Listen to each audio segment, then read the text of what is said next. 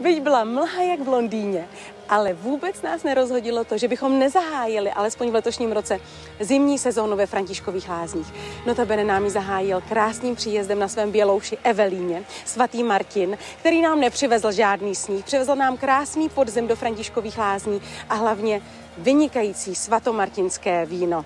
Takže dámy a pánové, ať nám ta sezóna dobře pokračuje a na zdraví.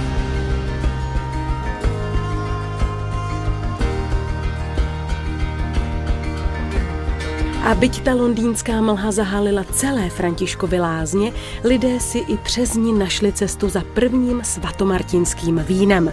Počichu jít nemohli, ale posluchu ano. Už z dálky je vítali tóny cymbálové muziky, která dopoledne i odpoledne plnila nejen prostor ve dvoraně Glauberových pramenů, ale také před ní.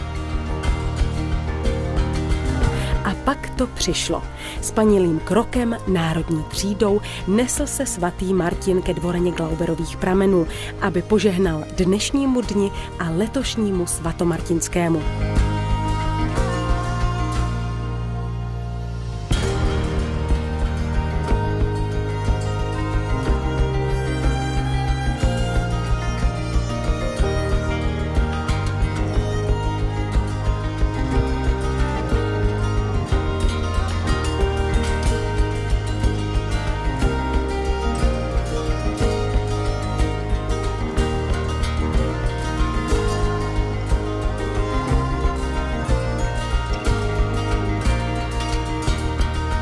A jaké bylo?